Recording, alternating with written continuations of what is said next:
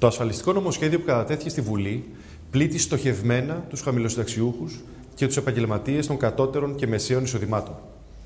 Η κυβέρνηση προκαλεί απώλεια εισοδήματος για 9 στους 10 συνταξιούχους, καθώς καταργεί τη μόνιμη 13η σύνταξη, ολόκληρη για τους χαμηλοσυνταξιούχους και αναλογική για υψηλότερες συντάξεις, ενώ οι όποιες αυξήσεις θα αφορούν μόλις 1 στους 10 από την κλίμακα των υψηλότερων συντάξεων.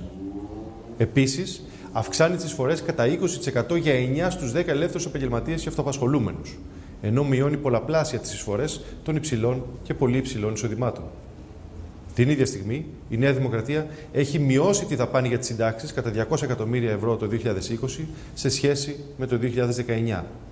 Επιλέγει συνειδητά να μικρύνει την πίτα των συντάξεων και σε αυτή τη μικρότερη πίτα κάνει μια αντίστροφη αναδιανομή σε βάρος των χαμηλοσυνταξιούχων.